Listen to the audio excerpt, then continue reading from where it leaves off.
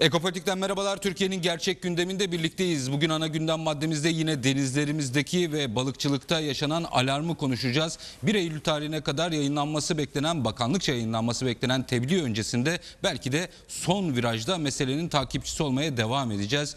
Ee, burada hem sahanın gerçeklerine hem bilimsel gerçekleri hepsini masaya yatıracağız. Belki de tebliğ ile ilgili dikkat edilmesi gereken noktaların altını çizeceğiz. Bugün e, stüdyomuzda bilimsel e, kanadı temsilen e, konuklarımız var. Geleneksel balıkçılığı temsil eden konuklarımız var ve endüstriyel balıkçılığı temsil eden konuklarımız var. Ben izin verirseniz hemen tek tek tanıtmak istiyorum e, yakınımdan başlayarak. Endüstriyel balıkçı tekne sahibi Sayın İlyas Torlak bizlerle birlikte. Öncelikle hoş geldiniz efendim.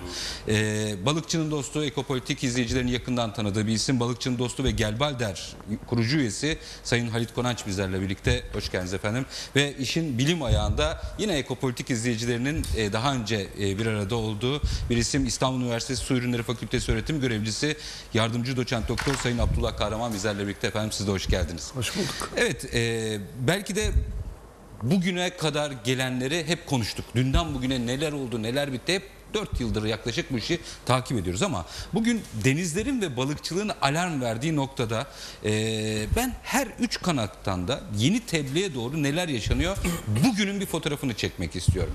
E, şöyle başlayalım bilime en son toparlasın öyle gelelim. Endüstriyel balıkçı bugün neler yaşıyor tebliğe doğru adım adım gidilirken. Şimdi şöyle başlayayım konuşmama. 38 senedir e, bu balıkçılık mesleğiyle uğraşıyorum. Ş- e, önümüzde yeni yapılacak olan 4 yıllık tebliğler hazırlanıyor. Fakat şimdi benim iddiam yani bir balıkçı olarak bu için, işin içinde bulunan bir kişi olarak iddiam şu. Yani bu tebliğlerle yani bu hazırlanım, hazırlanmış olan tebliğlerle yıllardan beri gelinen nokta belli. Balıkçılığın gelmiş olduğu nokta belli. Demek ki bunlar e, bir şekilde balıkçılığımıza cevap vermiyor. Çünkü son iki yıldan beri her taraftan bir ses çıkıyor.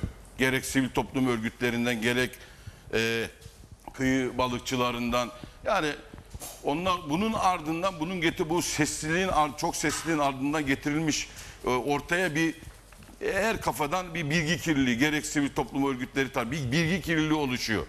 Yani burada gerçek e, sonuçlara yani radikal bir kararla yeni hazırlanan tebliğ- tebliğlerde ben Ankara'ya da gittim. E, bir radikal bir şey yok. Kararlar yok içinde. Yani 4 yıl sonra olacağı yine aynı konum. Yani sürdürebilir balıkçılık namına yani ilerisi için e, balıkçının namına alınacak bir karar yok. Değişen bir şey yani e, sürküler yeni hazırlanan tebliğler eskinin yenisi. Çok çoğu bunun içinde 3-4 tane madde değişmiş. E, anlatabiliyor muyum?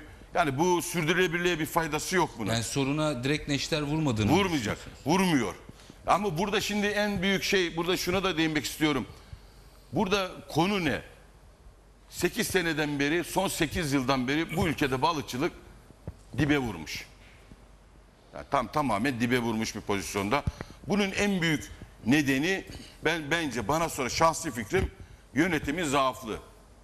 Yani demek ki burada balıkçılık yönetilemiyor ki her taraftan bir, bir yer iyi bir yönetilse demek ki herkes bir ses çıkmayacak. Bir yer yönetilemiyor ki her taraftan bir ses çıkıyor. Her köşeden bir ses çıkıyor. Demek bir yanlış Yayına yön- girmeden önce bir ifade kullandınız. Evet. Mezgit bile yok artık. Evet dediniz. ve Bu geçen çok gün. Karadeniz'deydim. Adam 17 o- oradaki kıyı balıkçılar 14-15 takıma atıyorlar. Bir köy. O, da- o bile kayboldu ya. Burada şimdi sorun ne? Yani yapılmak istenen, yapılacak olan en önemli sorun. Bir kere önce şunu bilmek lazım. Ya biz önceden ben bu işe başladığım zaman mesela 10 sene, 20 sene denizde 100 mesela 100 tane balık vardı. e, 50 tane tekne vardı. Balık boldu. Ama şimdi 100 tane balık var. Yine aynı e, potansiyel yine aynı. Değişen bir şey yok. Denizlerimizde balık yönünden pek değil. Fakat bunun avcısı çok. Şimdi bin tane var. 2000 yetmiyor. Hem yetmiyor hem de tabii kaynaklara bir saldırı haline E, dönüşüyor. haliyle e, tabii kalabalık olu- olunca o herkes fazla kapma yoluna e, o, o fazla kapma yolunu tercih etmek için de herkesten fazla birbirine bir yarış var. Burada şimdi yapılacak olan en önemli ne, e, sorun e, şey ne? Bir kere önce böyle fazla e, sağ solun ne dedi, o ne dedi, bu ne dedi, şunu yap. Bir kere önce ülke, bu ülkede arkadaş bu ülkede ne kadar stoğun ne senin?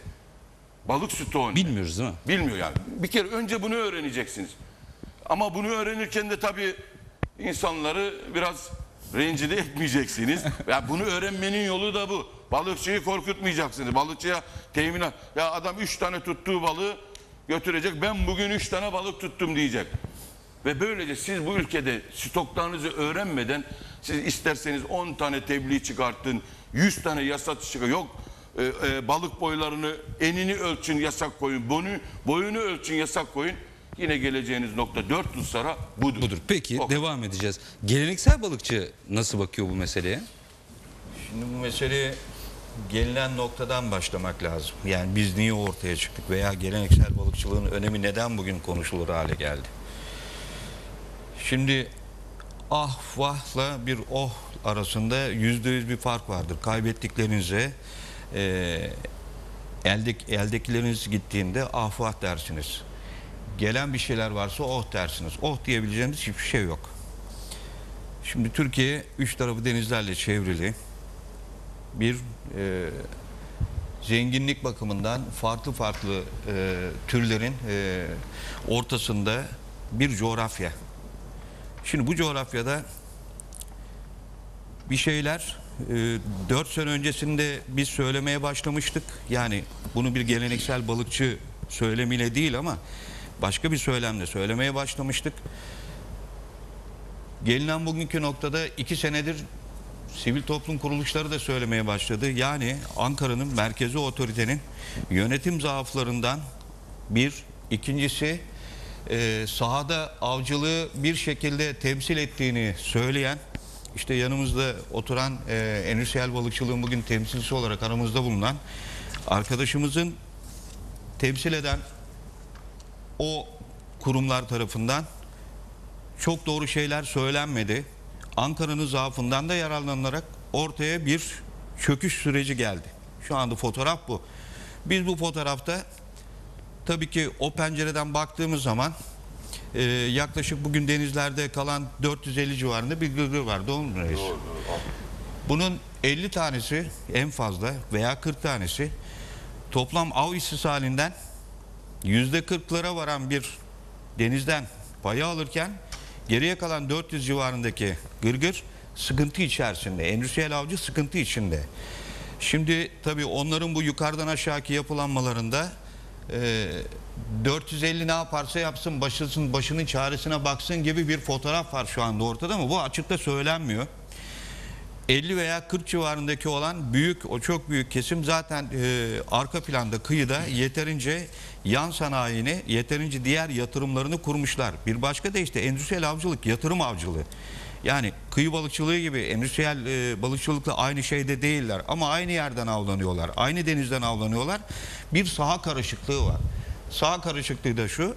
Biz bu tebliğlerde bunu özellikle e, aramaya çok e, olmasını murat olarak çok arzu ediyoruz kıyı balıkçılığının yapıldığı alanlar bütün balık stoklarımızın korunduğu alanlardır. Korunması gereken alanlardır. Bir kere bu, burası çok önemli. Bu alanlara kıyı balıkçısı zarar vermez. Alacağı balık sadece avdan aldığı azemli balıktır. Ekosistemi bozmaz. Onların o kıyıda büyüme, çoğalma, yumurtlama ile birlikteki geçirdiği evreleri oradan çıkıp da korunma şeyinden kurulduktan sonra diğer yerlere geçtiği anda av sahaları geçtiği anda zarar vermez. Şimdi verse bunun bilimsel anlamda bir sürü verileri ortaya çıkardı. Ha Türkiye'de tabii bir bilgi karmaşası var, kirlilik var. Hiçbir zaman rakamlar doğru verilmiyor.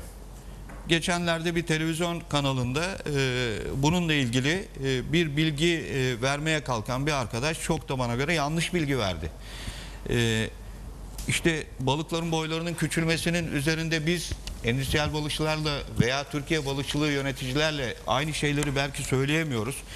Diyoruz ki burada av baskısından kaynaklanan özellikle endüstriyel baskıdan kaynaklanan nedenlerden dolayı 10 sene 8 sene önce tutulan balığın boyları bugün küçülmüştür diyoruz. Ve bu devam ederse bu küçülme balıkları büyüme hakkı tanımadığımız için yine de e, bir şekilde sorun içinden çıkılamaz noktaya gelecek deniyoruz. Yani şimdi buradan bir toparlama yapmak gerekirse biz bugün özellikle iç kıta sahanlığı diye adlandırdığımız sonra bununla ilgili daha bir genel bir e, bilgilendirmede bulunmak isterim. Bu alanın özellikle diğer kıta sahanlığımız alanına rezerv olarak sürekli kaynak verdiğini söylüyoruz. Bu kaynağı hep beraber hepimizin mümkün olduğu kadar koruma noktasında bakanlığın alacağı kararlara baskı yapmak demeyeyim de olabildiğince Katkı sağlamak. katkı sağlamamız gerekli diye düşünüyorum. Bu amaçla da belli bölgelerin, belli alanların özellikle bu koruma kapsamında özel korumaya girmesini e, istiyoruz. Bunu muradımız bu. E, bununla ilgili de sanıyorum hocamız da söyler. Belli alanlar zaten e, bir şekilde e, metodolojik olarak bilimsel bir şekilde nereleridir, ne yapılması isteniyor Konuş- Avrupa'da ve dünyada örnekleriyle birlikte söylenecek diye Peki. düşünüyorum. eee, Sayın Kahraman, hocam eee endüstriyel balıkçıda, geleneksel balıkçıda aslında yandım Allah noktasında. Aslında hepsinin ötesinde balıkçılık da, denizlerimizde, sucul kaynaklarımızda eyvah noktasını çoktan geçti anladığım kadarıyla. Şimdi 1 Eylül'e kadar bir tebliğin yayınlanması hedefleniyor. Eee, Birçok üniversiteden de görüş alındı. Sizden de alındı. Nedir fotoğraf? Ne umuyorsunuz? 1 Eylül'de biz neyle karşılaşacağız? Evet teşekkür ederim. Şimdi ilk önce ben e, resme bir genel olarak ortaya koymak istiyorum. Ondan önce de e, İlyas Bey'e e, gerçekten gösterdiği duyarlılıktan dolayı ve bugün burada gelip görüşlerini açık yüreklikle burada ifade etmesinden dolayı da kendisini kutluyorum. Teşekkür ediyorum. Bir endüstriyel balıkçı. Bir endüstriyel adım kadarıyla ilk kez bir endüstriyel balıkçılıktan bir temsilciyi görüyoruz aramızda. Bu yönüyle önemli bir e, gelişme. E, şimdi genel resim şöyle. Bir kere bazı kavramları hep söylüyoruz ama bir kere daha kısaca üstünden geçmemiz lazım. Şimdi balıkçılık yönetimi dediğimiz kavram esasen sürdüre, sürdürülebilir balıkçılığı hedefleyen bir e, yönetim modeli. Burada sürdürülebilir balıkçılıktan kasıt bu içi boş bir e, sözcük olarak düşünmememiz lazım. Bunu mutlaka sorumlu balıkçılık ilkeleriyle de desteklemek lazım.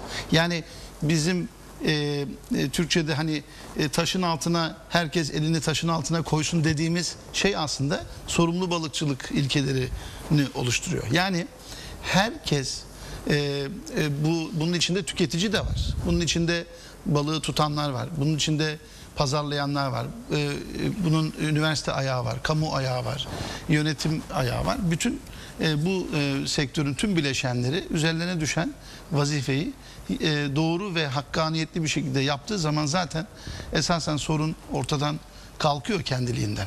Sorumlu balıkçılık e, e, ilkeleri doğrultusunda bir sürdürülebilir balıkçılık esas alınmalı. Bunun dışında bir de yine olmazsa olmaz ekosistem yaklaşımlı balıkçılık dediğimiz bir durum var. Şimdi bu balıkçılık faaliyetinin yürütüldüğü alanlar netice itibariyle doğal alanlar ve ekosistem e, bir ekosistem var orada ve o ekosistemin e, korunması gerekiyor. Şöyle ki balıkların yumurta ve larva gelişimlerinin en yoğun olduğu bölge kıyı alanları, kıyısal alanlar, bizim litoral zon dediğimiz kısımlar.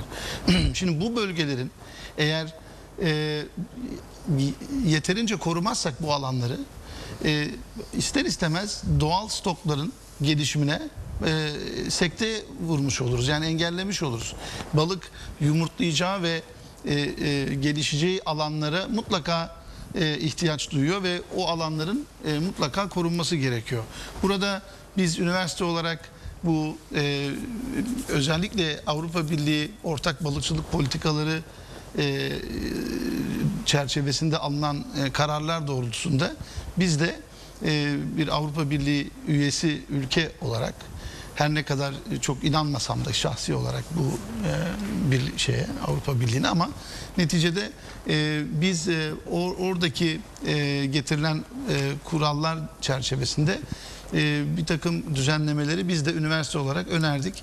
E, 50 metrelik bir derinlik e, e, şeyi var, e, uygulaması var. Onu 30 metre olarak biz en azından bir geçiş dönemi olsun diye sunduk. Fakat bu 30 metrelik e, şey tabii Karadeniz'de sıkıntı yaratabiliyor. Zaman zaman Karadeniz'in çünkü e, e, şeyi ne derler ona bu e, e, jeo, jeolojik e, yapısı buna müsaade etmeyebiliyor. Kıta sahanlığı diğer denizlerimize göre daha dar. O açıdan e, farklı bir yönetim uygulanması gerekebilir Karadeniz için. Özellikle hamsi avcılığı yapılan bölgeler için. Ama onun dışında e, şu anda 18 metre olan e, derinliğin e, 30 metreye e, yükseltilmesi nispeten e, bir e, rahatlama e, bu kıyı alanlarının korunması noktasında bir e, bir düzelme beraberinde getirecektir. E, bir de ben şunu söylemek istiyorum. Biz Mayıs ayında ana bilim dalı olarak Dünya Balıkçılık Kongresi'ne katıldık. Ve orada hemen hemen bizim bu konularla ilgili dünyada neler yapılıyor, ne gibi e, uygulamalar var, e, hangi e, noktalara gelmişler, dünya bu işin neresinde bunları e, gözlemleme imkanımız oldu. Çok değerli tebliğleri, çok güzel e, sunumları izledik, takip ettik. Burada e, malumunuz geçen e, e, av sezonunda da bir kota sistemine geçildi ama çok başarılı olmadı. Ben de Ankara'daki daki toplantıdaydım zaten orada da. Evet yani o sonuçta e, bakın bu dünyada kota sistemi bile terk edildi artık. Yani kota sistemiyle bile bir çözüm anlamayacağı ortaya çıktı ve şu anda geldikleri nokta koruma alanları. Yani mutlaka e, bir takım belli belli koruma alanları e, eğer biz e, üretemezsek ya da oluşturamazsak e, e, gerçekten çok e, bu balıkçılığın geleceğini çok iyi görmüyoruz. Biz kotaya bile gelemedik doğru. E, daha kotaya bile gelemedik. Dünya kotayı geçti. Koruma alanlarına geldi. Yalnız bu arada tabii şuna da gelmek lazım. Şunu da altını çizmek lazım. Burada e, endüstriyel balıkçılık ve e, geleneksel balıkçılık diye ayırıyoruz ya. Biz büyük balıkçı, küçük balıkçı diye kendi aralarında söyledikleri şey. Burada bizim yaklaşımımız he- her iki tarafa da eşit. Yani biz bu kıyı alanlarının korunması, e, ekosistemin korunması noktasında her iki e, balıkçılık şekline de eşit mesafedeyiz ve eğer bir e, yaptırım ya da bir yasaklama gelecekse endüstriyel balıkçılıkla birlikte diğer geleneksel balıkçılığa da gerekirse zaman gerekirse belli dönem yasaklarının onlara da gelmesi gerektiğini düşünüyoruz. Bir disiplin altına alınması Evet. gerekiyor. Peki Sayın Torlak size geleceğim. Hatta Hocama şimdi bir şey konuda- sorayım onu Buyur. da ilave edin lütfen. Ee, tebliğ yayınlandı. Evet. 1 Eylül tebliğ yayınlandı. Bir takım çözümler sunuldu. Bunların hayata geçme şansı nedir? Zaten şimdi hayata ge- şimdi burada balıkçı bu bu ülkede balıkçılıkta en büyük eksiklik denetleme sorunu. Şimdi siz ne kadar teo mesela burada hocam koruma alanlarından bahsediyor. Bugün e, var olan çok koruma alanı var ama korunamıyor. Burada bir takım uyanıklar sen ne kadar e, burada kanundan, devletinden, kanundan kanundan korkan insan burada e, şey kalıyor, mağdur kalıyor. Biraz uyanıklar burada o koruma alanları vasıtasıyla e, işi götürüyor. Anlatabiliyor muyum? Biraz cesaretli olan bu konuda. Şimdi yarın bir şimdi bu koruma alanı koy. Şimdi mesela hocam şimdi bahsediyor. Tamam kotadan kotaya gel. Zaten kotanı koman için önce bir stoğunu belli. Şimdi devamlı bir kotadan bahsediliyor. Böyle gerek toplantılarda falan kota. Ya sen stoğunu bilmeden kotanı koyabilir misin? Şimdi mesela 400 bin ton Türkiye'de e, e, avcılık var diyorsun. E, 400 bin tonu kime paylaştıracaksın da kime yetecek bu balık? Öyle değil mi şimdi? 400 bin olmadığını hepimiz biliyoruz. Ya o, o ayrı. o ayrı. Şimdi koruma alanı konusunda da onu onu konuşmak istiyorum. Ya şimdi 94'te 10 bindi, 2006 2012'de 20 bin balıkçı. Koruma alanı diyorsun. Bu sefer insanları bir yere o orayı yasaklayacaksınız, orayı yasaklayacaksınız. İnsanları bir anda bir yere kümeleştireceksiniz. O zaman orada bir yığılma olacak. Şimdi adaları koruma alanı altına aldınız. Mesela orada tebliğlerde gösterdiler. Ee, bütün e, adaları İstanbul Adaları ve Ambarlı bölgesi Ambarlı için bölge. Ya şimdi burada insanların e, Ocak ayından sonra ta Nisan 1 15'e kadar avlanma yaptığı bir bölge. Peki buraları koruma altı, ambarlıyı koruma altı. E bu kadar insanı nereye nerede kümeleştireceksin? Nerede avlanacak bu insanlar? O zaman bunlara diyeceksiniz ki tamam buralar koruma altı. Ben kabul şey yapmıyorum, itiraz etmiyorum. İsterseniz bütün denizleri koruma. O zaman bize de bir güvence verin. Bakın geçen sene şimdi tebliğler 1 Eylül'de ya- e, şey geçen yıl Çinakop konusunda Ee, Haziran'ın 23'ünde bir istişare kurulunda orada bir tartışma oldu. 18 olsun 20 olsun falan fıstık.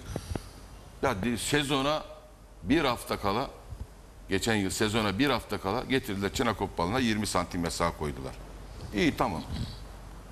E peki bir saniye. Bunu bize önceden bi- bildirin de bizde de 20 santim ondan sonra bu insanlar sezona açıldı. Ya bir sorun bakayım tuttunuz mu tutmadınız mı 20 santim altında balık? Tuttunuz mu, E tuttunuz. ne tutacağız?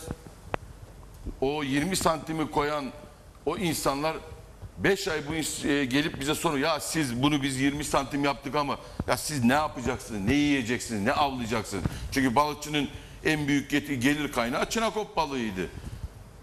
5 aydır kimse sormadı bize ne ne yaptınız diye. Ama yine ne oldu tuttuk da ne oldu? Ee, ekonomik olarak 50 lira şey 150 lira edecek Çinakop'un kasasını 50 liraya verdik. Burada kim zarar gördü? Yine balık kim kazandı? Yani bunu anlatmama gerek yok. Onun Burada için- aracılar çok öne çıkıyor anladığım kadarıyla. yani şimdi burada şimdi bir şeyleri vesaire. bir şeyleri yasak et- ettiğiniz zaman birilerini de o kadar göz ardı etme balıkçı o kadar. Tamam her şey hep konuşuyoruz. O yasak, bu yasak, o yasak. O av- e, koruma bölge koruma bir daha önemlisi konuşulacak daha çok şeyler var. Biraz Mesela- açın, biraz açın. Yani Yani mesela şimdi, şimdi- bakın bu sorunları konuşurken geleneksel balıkçı şöyle yapıyor, endüstriyel balıkçı ama denize çıkıldığında ki çoğu zaman çıkılmadan içeriden denizden halledildiğini de biliyoruz bazı şeylerin. E, denize çıkıldığında kabzımallardan başlayan bir silsilede herkesin mağdur edildiği bir sistem de var. E, var. Şimdi şöyle bir şey var. Bundan bir ay önce getirdiği bir hocanı, e, hocamız bir palamut markalama dallanlarda palamut markalıyordu. Bakın. Şimdi 1 Eylül'de sezon başlayacak.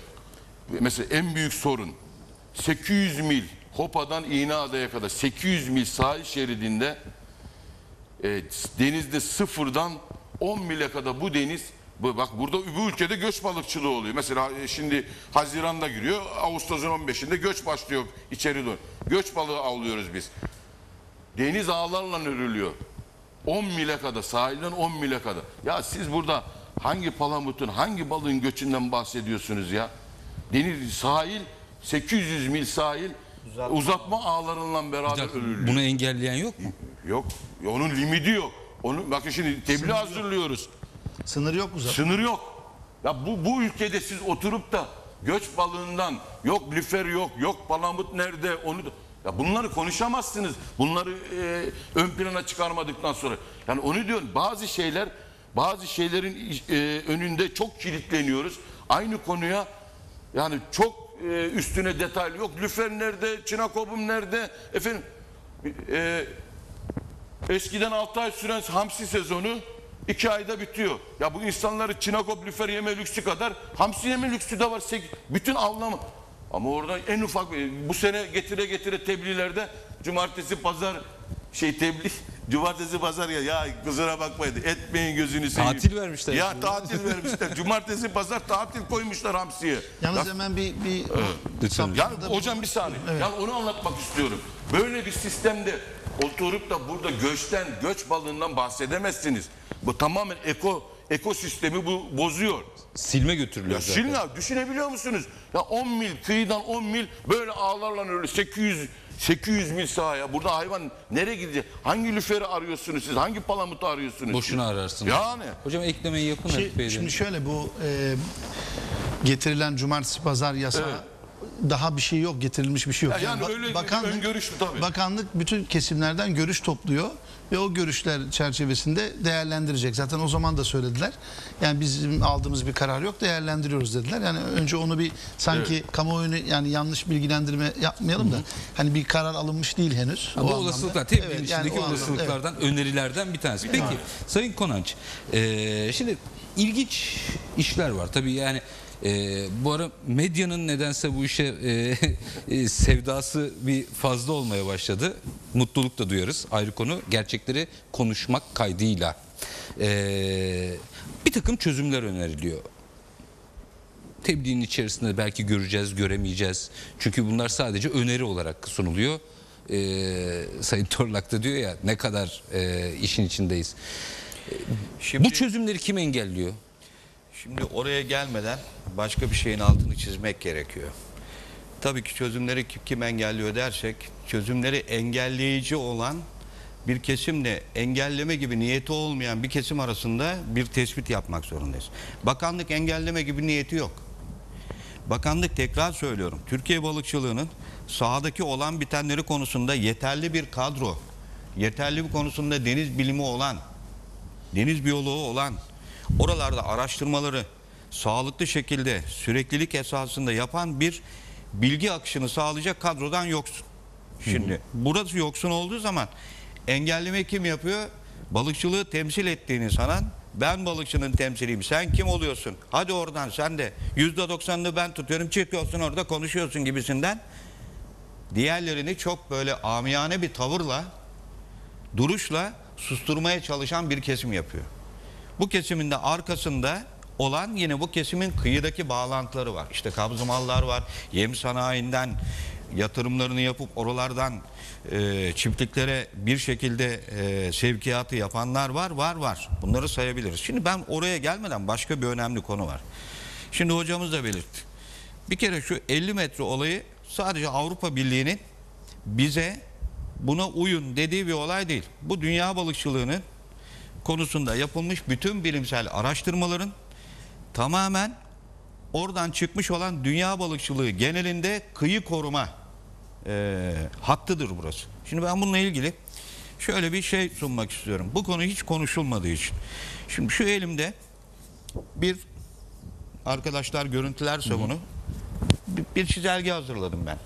Şimdi şu kısım çok yaklaştırırlarsa bakın şurada küçücük bir bölüm. Siz bana verin isterseniz siz Tamam. konuşurken ben onu tutabileyim. Ben onu sunun. Orası küçücük bir bölüm. Diğeri de bir orta bölüm var. İki kırmızı çizgiyle ayrılmış bölüm. Birinci kırmızı çizgi kıyıya sıfır olan alandır. Burası 50 metre derinlik ve sıfır noktası arasındaki alandır.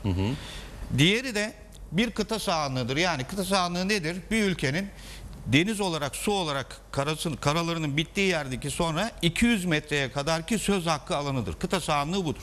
Diğeri de ışıklı alan dediğimiz 1000 metreye kadar inen uluslararası alandır. Yani buralardaki her türlü deniz canlısı veya o noktada e, ki bir şeyden tasarruf alınacak bir işe her ülkenin özellikle kıyıdaş ülkelerin öncelikli olarak faydalanması gereken alandır. Okyanuslar genel bir alandır. Neyse. Yani 50 metre tartışmaya açık bir durum değil anladığım kadarıyla.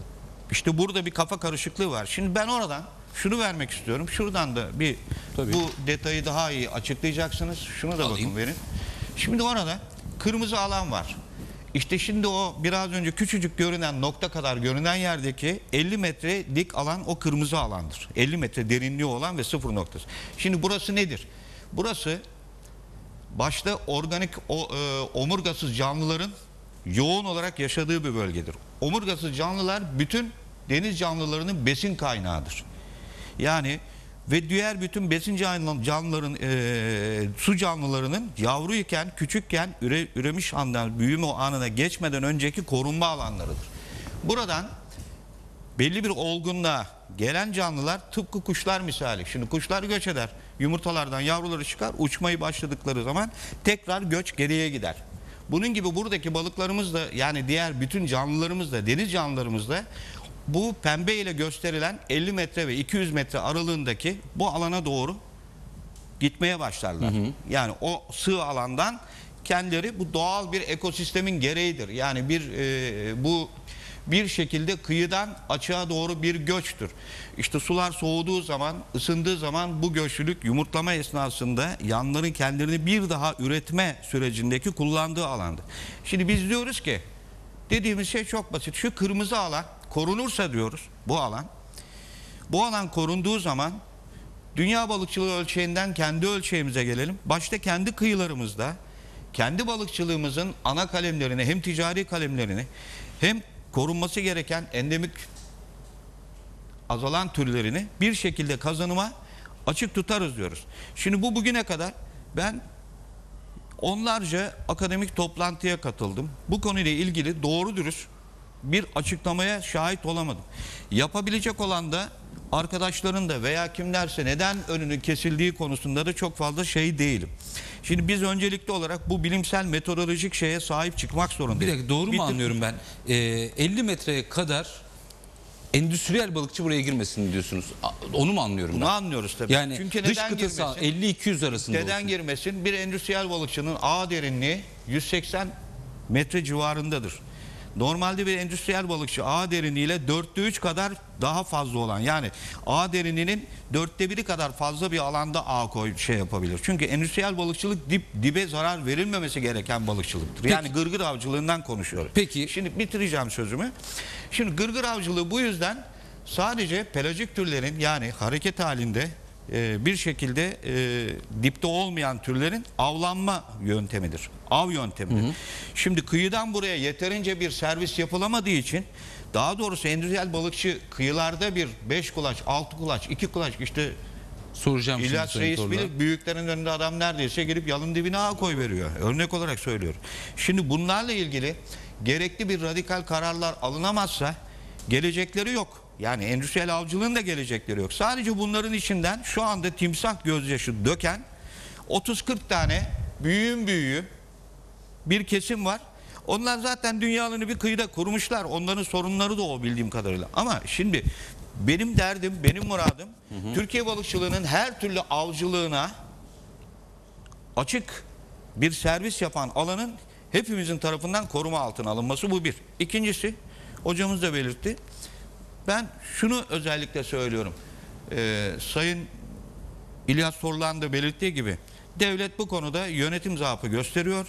Bir kere bu böyle palyatif tedbirlerle onu çekelim, bunu alalım, bunu verelim de bu işlerin böyle sonu olmaz. Yani bu bir kere balıkçı da buna uymayacak gördüğümüz kadarıyla yaptığımız görüşmelerde. Yani endüstriyel balıkçı da burada e, çok samimi durmayacak gibi geliyor.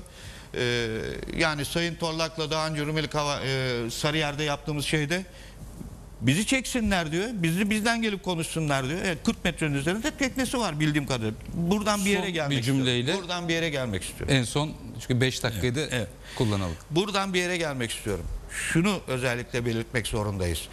Türkiye balıkçılığını bu kadar zengin 40 yıl öncesinden beri gelmiş olan bakın burada bir şey daha sunmak istiyorum. Bu da çok önemli bir belge benim için. Balık ve balıkçılık bu 78'de çıkmış bir dergi. 78'de çıkmış bir dergi. Bu dergiyi çıkardığında çıkaran Et Balık Kurumu'nun o dönemdeki bölge müdür yardımcısı görevini yapan hocamız tarafından çıkarılmış bir dergi. O gün burada alınması gereken yasakların neyin üzerinden yani avların av sahasının yani şöyle belirteyim şurada su ürünlerinin av yasakları ve önemi diye bir yazı yazmış. Tesadüfen elime Hepsi geçti. burada var mı? Efendim? Hepsi burada var mı? Hemen hemen hepsi burada var. Bakın biz oradan buraya geldiğimiz nokta çok vahim. Bu vahim noktanın birinci sebebi tekrar söylüyorum ama bu söylerken de kimse alınmayacak, kimse gücenmeyecek. Ankara derhal acilen Türkiye'nin geçmişinden, balıkçılığın yakın geçmişinden bugüne kadar geliş noktada yapılan hataların derhal üstünden gitmeme konusunda bir karar almak zorunda. Elinde büyük fırsat var. Nedir? Stoklar çöktü. Bundan iyi fırsat olmaz. Hepimiz şimdi stokların çöküntüsü üzerinden konuşuyoruz.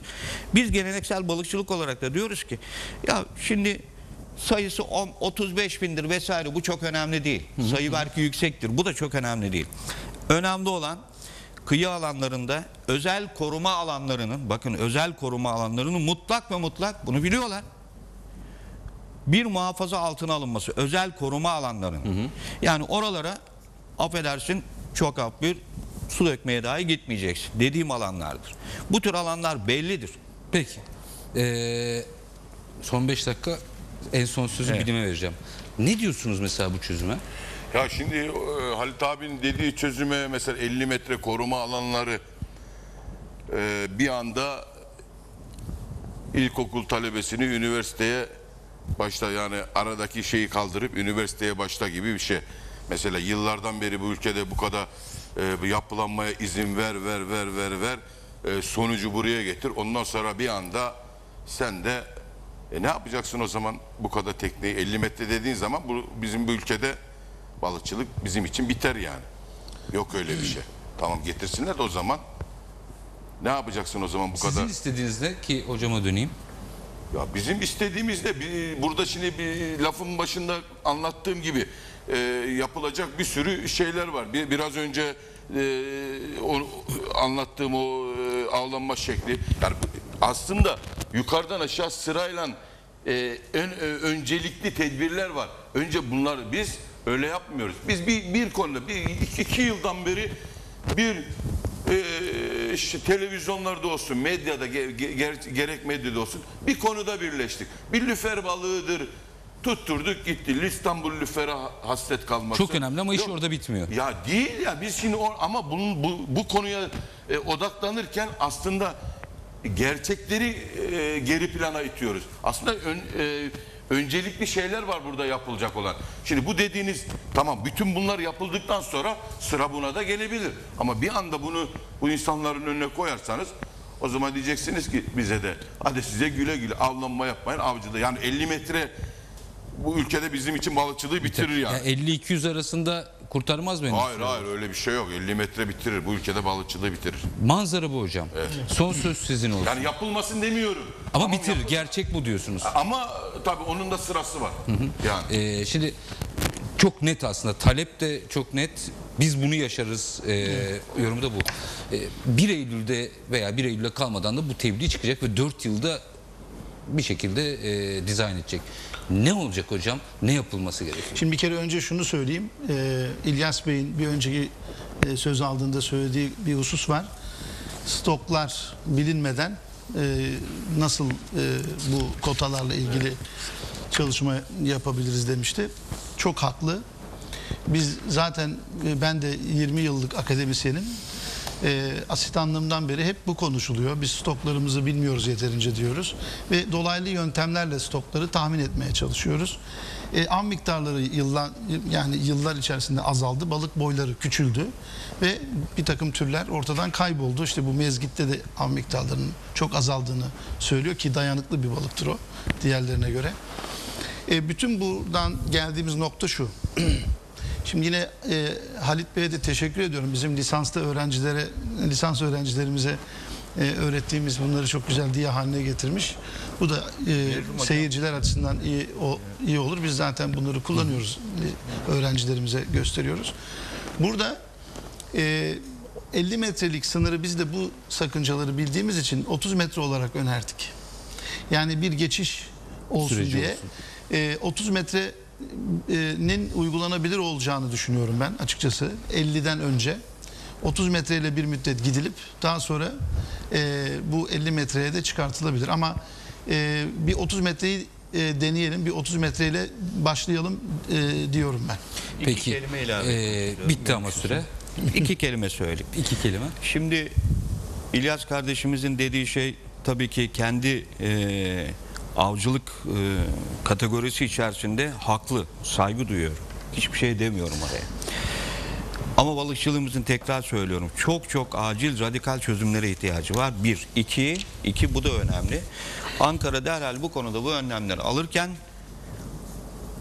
koruma neyse alacağı karar dediği gibi diyecek ki arkadaş size bunu uyguluyoruz size bunu ö- öneriyoruz demesi zorunda. Yani 30-40 tane büyük balıkçının dümen suyundan alacağı kararlardan veya aldırmak istediği kararlardan kendini mutlak surette dışlamak Sanıyorum zorunda. iş burada bitiyor. Bir Evet. 30-40 kimse bunlar. E, Türkiye'deki bütün balıkçılığın e, Ben bunu- bunu- kaderini tayin ediyor Maalesef bu. kadarıyla. Sayın Torlak, Sayın Konanç ve Sayın Kahraman çok teşekkür ediyorum efendim. E, 1 Eylül'de bakalım nelerle karşılayacağız ama biz onun öncesinde bu işi konuşmaya devam edeceğiz tabii. Mühim olan doğru bir şey çıksın. Çünkü 4 yılı yapacak. E, gereklilikler var, zorunluluklar var, ihtiyaçlar var. E, bir de gerçekler var. E, bunların hepsini bir potada harmanlamamız gerekiyor. Çok teşekkür ediyorum efendim. Sağ olun. Biz teşekkür ederiz. Evet Ekopolitik'te balıkçılığı takip etmeye devam ediyoruz. 1 Eylül'le bir çalışmalar yapılıyor. Ee, bir kere bir çalışmanın yapılıyor olması başlı başına bir önemli de onun ötesinde Sayın Torlan bir ifadesi var. Ben ona çok takıldım. Gerçekle yüzleşmezseniz hepsi kağıt üstünde kalıyor.